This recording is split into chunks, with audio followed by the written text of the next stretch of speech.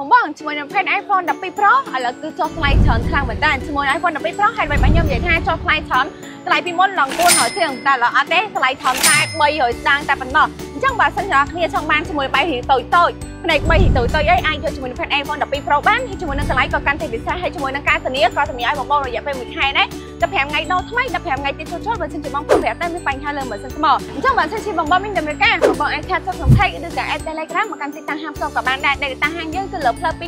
294កាយនៅផ្សារកាប់កោចិត្តនឹងវិមានឯករាជ្យហេសតគ្នាយើងមានរហូត13សេវាកម្មជូនបងបងទៀតតែទិញដៃទាំងវាយដូរនិងបងរំលោះហេសតគ្នាយើងក៏ដូចជា mini Apple Store មួយនៅស្រុកខ្មែរចឹងគ្រឿង accessory របស់ iPhone យើងមានចាប់ពីសេរីទៀតរហូតដល់ iPhone 15សេរីជាមួយនឹង Store គ្នាយើងគឺតែងតែផ្ដល់នូវទំនុកចិត្តទំនួលខុសត្រូវជាស្មោះត្រង់ជូនអ្នកតេតជនអរគុណច្រើនបងបងបាយបាយ